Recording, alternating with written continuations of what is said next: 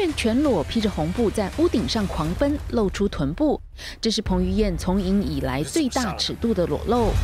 北平第一裁缝，你可不可以也帮我做件衣服？好啊，什么样的？很简单，就穿了以后看不见我。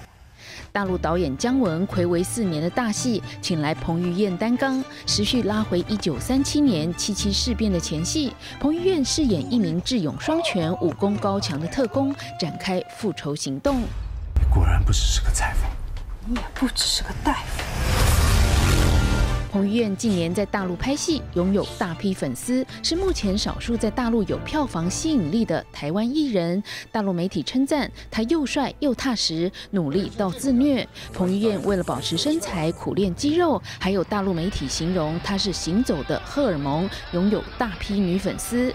彭于晏最近去四川传媒学院宣传新片时，就被一个女学生扑上去熊抱。